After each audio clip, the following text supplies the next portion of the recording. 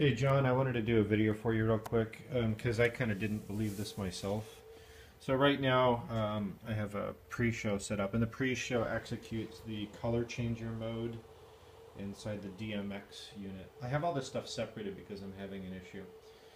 Um, let's see if it does it this time.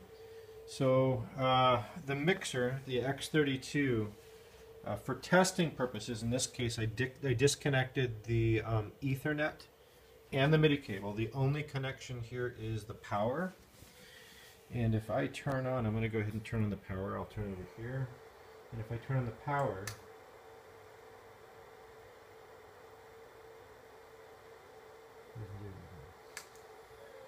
oh, there it went. Okay, I had to turn it off and then turn it on. Um, okay, so we lost DMX stream.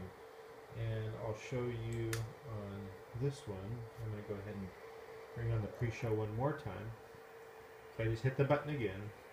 And then I wanted you to see the lights here because we got some kind of issue happening. So here is, let me see if I can get the phone to stay. That should work. Okay, I'm going to go ahead and uh, power up the mixer now. Okay, and our color changed and it looks like we lost sync.